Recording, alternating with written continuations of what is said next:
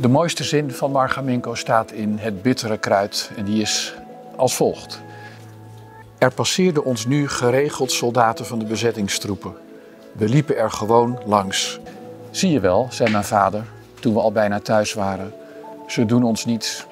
En terwijl we voorbij het hekje van de buurman liepen, mompelde hij nog eens: Ze doen ons niets.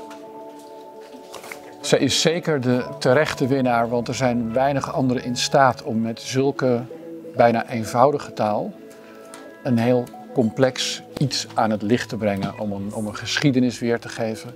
En eigenlijk om de oorlog te zien als een verheviging van iets wat altijd kan gebeuren, namelijk een plotselinge ommekeer in het leven.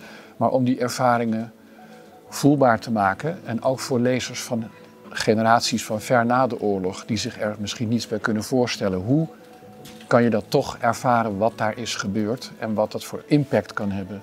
Dat kan eigenlijk alleen als je een groot auteur bent die misschien zelfs wel zonder die grote woorden te gebruiken, maar wel die emoties aan te roeren, om dat over te brengen. En daar is zij als geen ander toe in staat. En ze heeft het ook met groot geduld geschreven. Ze heeft er jaren over gedaan. En ik denk dat je dat kan zien.